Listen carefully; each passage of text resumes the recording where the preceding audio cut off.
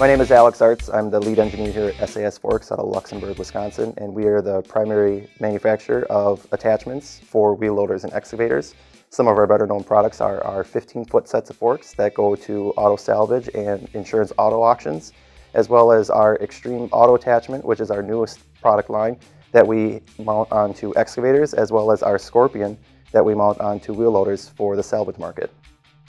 So the product that we're going to specifically talk about is our new product, the Extreme Auto Processor, which is a much more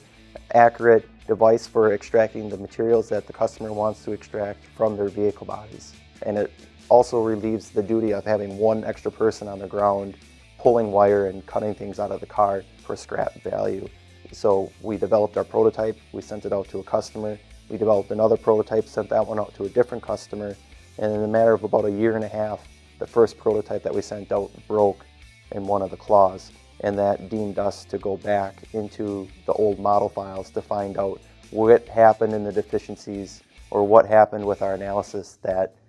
made this thing break or what did we miss. Um, and through that, we were able to find where where we needed to spend a little bit more time focusing on certain stress areas or certain working ends of the unit.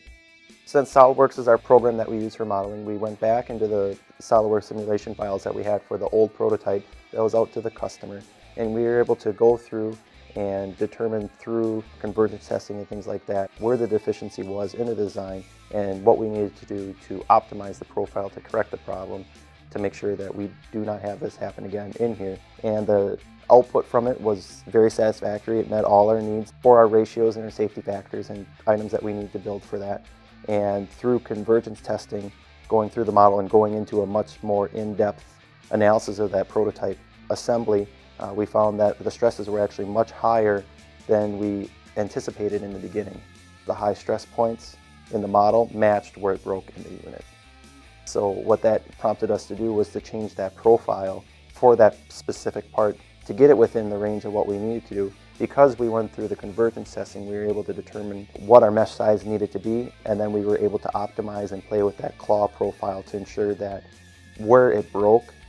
won't break again. And then from knowing how where the deficiency was were in the design and based on recommendations from the customers of what they wanted, we were able to make further improvements on the design, such as uh, the replaceable claw tips that we have on there currently.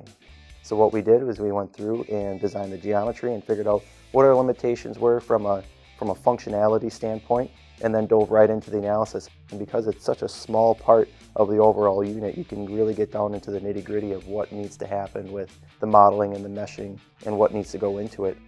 Through simulation, we were able to determine the bolting pattern that we needed. But what also goes into that is that they're custom pins that go in there and we are able to size how big they needed to be and as well as what type of material we needed to make those pins out of. In a matter of three days, we were able to have product ordered and ready to be machined in order to send out to the customer.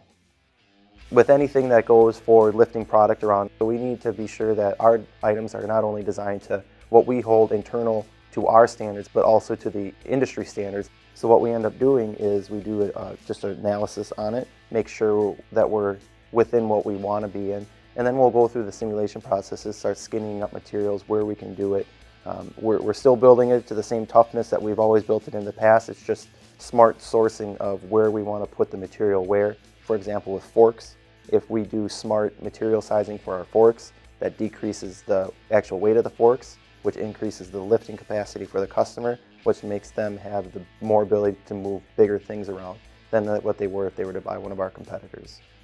Through Graphics Systems, we learned really how to tweak your models, make them run faster, as well as learn how to work through convergence testing to make sure that your results are accurate and that you can trust these numbers within a certain percentage of good faith based on a certain number of numerical errors that may happen within the model. Um, but it saves days. So through the simulation package, what we've been able to do as a company is have a, a higher vote of confidence in what we get from data out of our models, which directly feeds into what we can do for providing our customers with the products that they want. And when we actually go through the process of developing a prototype, we can get to the marketplace faster because we've been able to do the proper analysis in the areas that we deem as necessary. And then if anything does come up, like the example with the extreme excavator claw, we can go back into our models and find out what did we do wrong or what did we not have set right and work on fixing that deficiency so that when it is a fully released product to the market that we have everything worked out.